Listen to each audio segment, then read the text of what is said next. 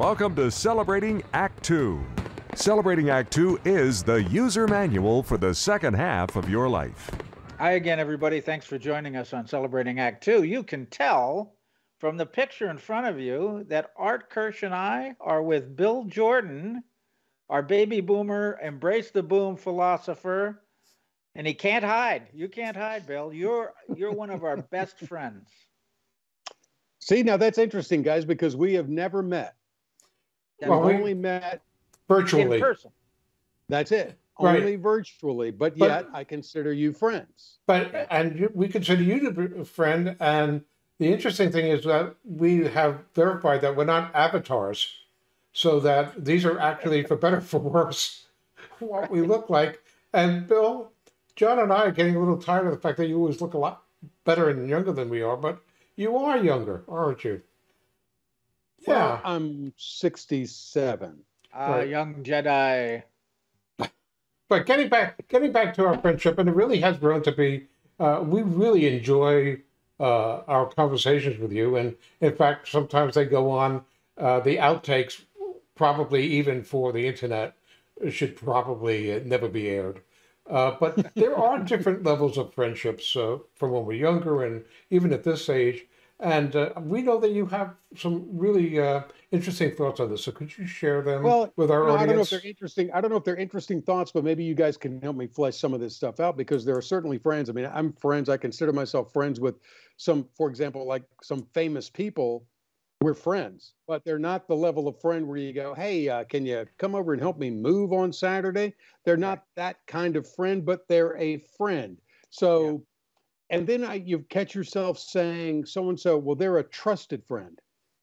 And when I caught myself saying that, I felt a little sad going, why do I have to discern in friends which one is trusted and which one is not? Shouldn't trust go hand in hand with friendship? But there are friends I've got that I would never reveal confidential information to because they've proven to me by telling me a secret from someone else, you know, Yeah. uh, a- so I know that they would be telling on me. I've got Well- another good. I've got a great friend who you don't even have to say cone of silence, and this is where partly where I was going to go. I think everybody should have two or three friends or family members that you can go and meet for coffee or lunch or something, and invoke the cone of silence. Do you remember from Get Smart days? The cone of silence. It goes no further absolutely locked in trust with this individual and they with you, Yeah. you should have two or three of those people. But there are other people that you know that you can't do that because even though they're your friend, you can't trust them. Now, I've got one friend who's so amazing, and he's a friend, he, and we're friends on Facebook. He never likes my stuff. I don't think he even follows my stuff.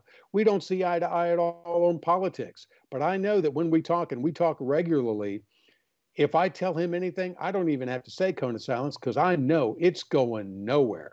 Mm. It's going nowhere.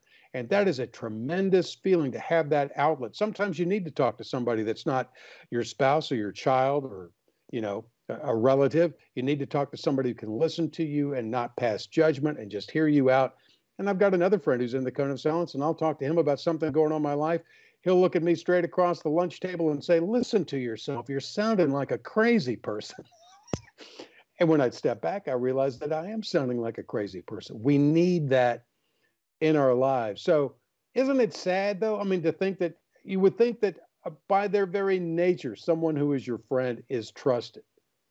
Well, you know something. I think that um, I think that um, what you point out may be that rather than levels of friendship, uh, some of the things that you're pointing out is that we have acquaintances who are Right. close. And I don't play golf, but I know that my brother-in-law plays golf, and I'm sure that a lot of people play golf with with people that uh, some might be uh, a cone of silence kind of friends, but probably Right. most of them are. You Right. couldn't count on them for the same stuff. But uh, uh, I know that I've had several friends, uh, particularly uh, after I moved out here, who are on the uh, East Coast, that uh, if either one of us needed the other one to be on the other coast, and I don't care what the economic conditions are or anything else, we would be there for them or they would be there for us. And I think Sure. that very few people have more than one or two of those kinds of of friends. Yeah.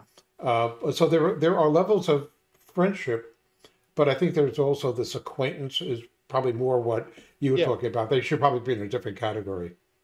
Yeah, but I mean, but yeah, but then you know, it there's no way to grade it. You know, there's no. I mean, Mhm. it's all just perception of things. It's and it, and it's a weird thing too when you get older. And I can't remember with whom it was my first. I thought this thought for the very first time was. It was probably a family member, and I don't remember which one it was, but it was like, I love them, but I don't like them. Yeah. That's a weird feeling. When for Well- the first when you first realize that it's it, it it it seems incongruent, but it's definitely possible to love someone and not like them. Sure, sure. And and uh, look, I don't think you need names for to define the level of friendships um, or love, for that matter. Right. I- think we instinctively know people, and if if you get to know somebody well enough to call them a friend, at or an acquaintance, then you you know them and you you know the level of trust you have in them. You know their personality. You know what you can expect from them, Mm. and you don't push somebody to be more of a friend than they can be, Correct. than they really are. Here's and- another quote I've got for you. Trust, loyalty, respect. If you blow one of them, you blow all of them. Trust, loyalty, and respect. If you lose one, you lose them all. My, my friend that I mentioned earlier that I don't even have to say cone of silence, he and I were discussing, and, we're, and I really trying to get out of the gossip thing. But we got into talking about a former coworker of ours who we both see as a friend. But we both noticed that this friend would bad if we're around them would badmouth other mutual friends to us. Yeah. So then you know that when they're with another mutual friend, they're probably bad mouthing you. Sure. So I commented to my friend friend. Um, I said, you know, but I, get- I get along okay with him. I get along okay with him. And my friend said, and I'll never forget, he said, I do too. And for that, I will take all the credit. you know, one last thought here, and that is that friends come and go. And even when you haven't been in touch with a true friend, that that real deep friend, you haven't been in touch for many years. Sometimes you can pick up the phone and it's like yesterday. Right. Yep. You know who they are, you know you can trust them, you can reconnect in a second. And that's that's the best kind of friend. Time and old friends become more valuable the older you get. Yeah. Well, on that note, I would say, especially for us boomers, that um, embrace your friendships and embrace. Embrace the boom. boom. There you go, guys. Live your life, forget your age, and embrace the boom. Always a pleasure, gentlemen. Thank you for having me back. For more on Celebrating Act Two, visit our webpage, follow us on Facebook, subscribe to us on YouTube, and tell your friends. Celebrating Act Two is the user manual for the second half of your life.